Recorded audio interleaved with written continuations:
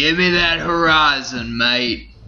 This is the Bro Force Squad podcast, and we just got done viewing Pirates of the Caribbean 5 Dead Men Tell No Tales. So, get some Long John Silvers, open up a bottle of Sailor Jerry's rum because here comes our review. I'm Matt Geiger, and let's go down to the prison where they are keeping our scientist, or witch as he would have been known back in those days, Sir Brian Banner. Banner, you just got done viewing it. How fucking big is your boner? Arr, gets bigger than the Dutchman can hold. And of course, you know we grade all movies on five criteria. The first being acting and cast. Banner, you're our biggest Pirates fan. I'm a pretty big Pirates fan, but you're bigger than me. So go ahead and kick it off with the acting and cast. I this might be Sir Jack Sparrow's best preferred. I can't do this. This bird is digging into my shoulder so bad. Uh, did the I thought this is the best version of Jack Sparrow Johnny Depp has given us so far. wow. He's he's down in the dumps. Um, he's he's down on his luck. He's this is not a Jack Sparrow with his confidence. He's always kind of had his confidence, and at the beginning of this, he doesn't. Um, and I thought that was really cool, him coming back. And I thought the actor. Uh, I've had too much rum tonight, so I, I don't know his name. But the actor that played Henry Turner, Brenton phenomenal. I looked it up before. Thank I, I'm probably didn't get his last name right, but it's Brenton Tw- Twaits, Twats, something like that. He did I thought fantastic he was though. fantastic. fantastic. Thank you for leaving me uh, the cherry on top. I, I will disagree with you on one thing. The first Pirates I thought was Johnny Depp's best performance, but I did like how basically he is just drunk through about 75% of this movie. So it gave us a different, it was a character development for sure. Dude, Javier Bardem steals the fucking show in this. He He is so fucking scary. fantastic. Like whenever we do best scene, I just want to pick every time he says Sparrow. Like every time he Yeah. says it was just like so badass and stuff.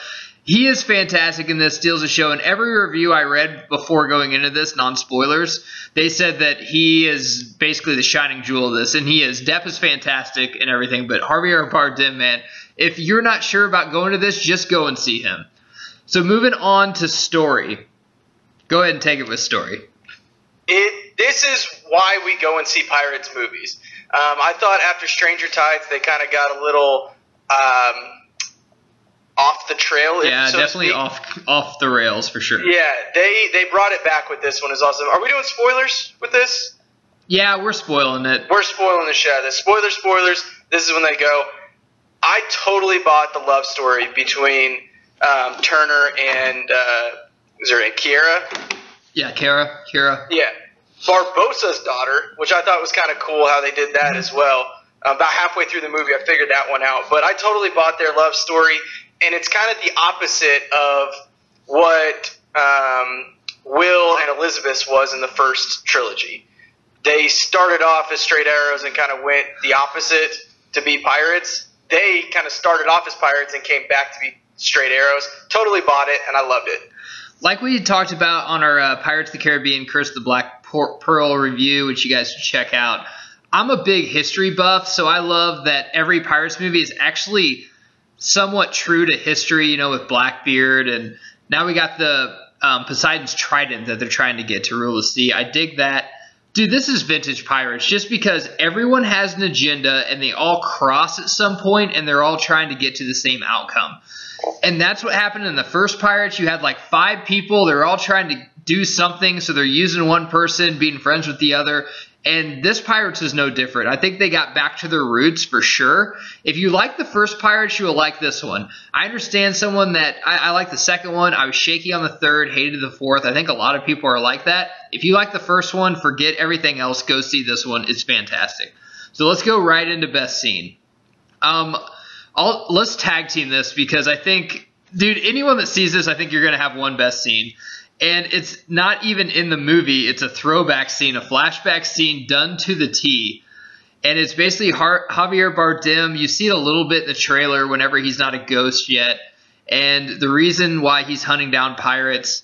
And you have a young, like Frankie and Johnny Jack Sparrow like Johnny Depp, dude, like Edward Scissorhands from 1992, Johnny Depp looking character, and he just is as brash and cocky as he can be, and he makes Javier Bardem go into the triangle of death or whatever The it's Devil's called. Triangle. Yeah, the Devil's Triangle, and then he just fucking pulls a Yui, and then the Black Pearl goes another way, and the ship just has to go in, and that's where Bardem basically dies, and that gets his agenda throughout the whole movie. You can take it from I there. love I love also in that flashback scene you see how he gets the uh, compass, which Yeah. is su- plays such an integral part in the entire Yeah. uh, franchise. You actually see how he gets that, um, and I thought that was really really cool how they were able to uh, incorporate that in to to that scene.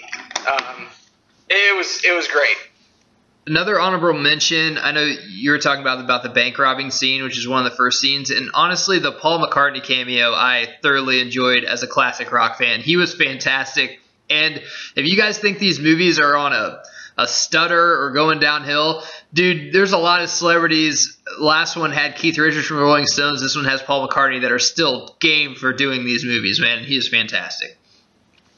All right, impacts on pop culture. What do you think?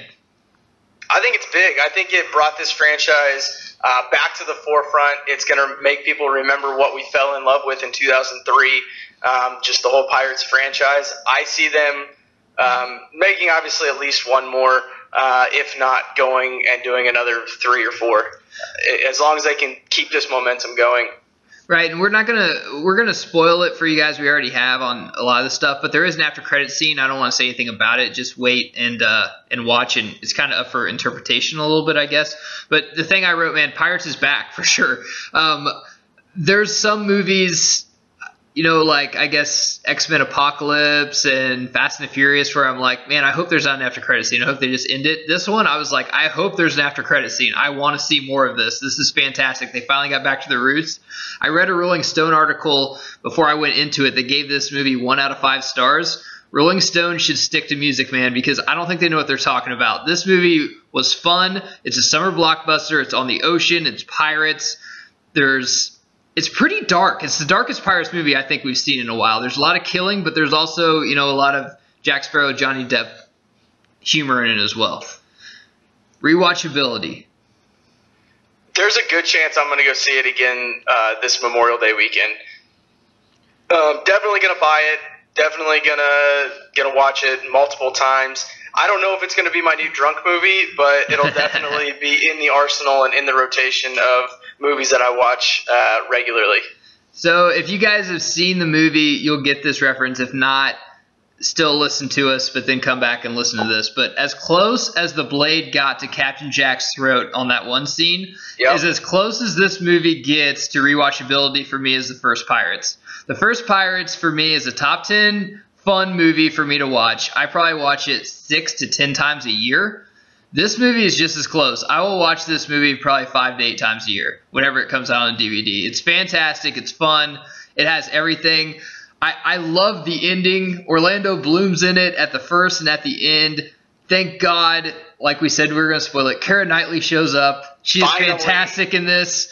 And I hope that she's in the next one too. And I hope that Bloom's in more of it too. I was never an Orlando Bloom fan until he kind of got away from Hollywood and I saw everyone else coming into Hollywood. I'm like, okay, man, he was Paris, Lord of the Rings. He's okay. And now when he's coming back to these movies, he's fantastic. He needs to be back in these, and so is Keira Knightley.